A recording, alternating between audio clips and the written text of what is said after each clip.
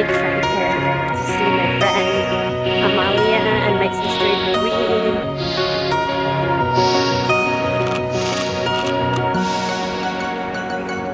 Hi guys, I'm Loida.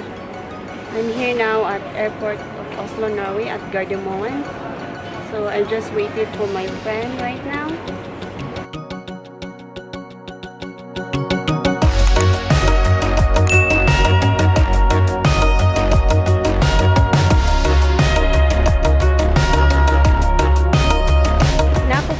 Sa Oslo Lufthansa Gardermoen Airport.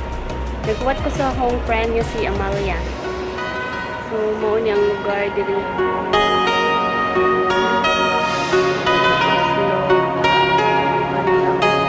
This is my friend Amalia. Gisundo ko niya. Norwegian na ni siya. Kuya na ni siya. Tina ba istorya namin sa Oslo Airport?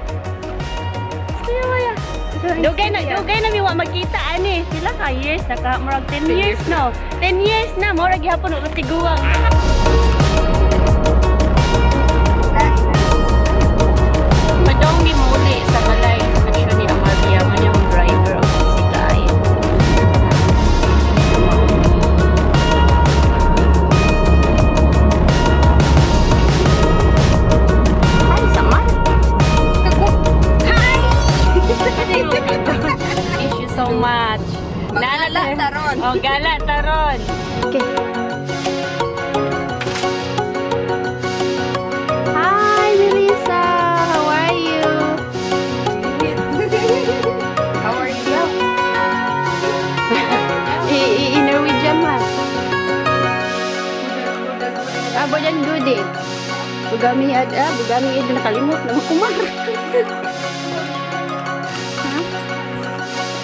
Say hi! I am in the.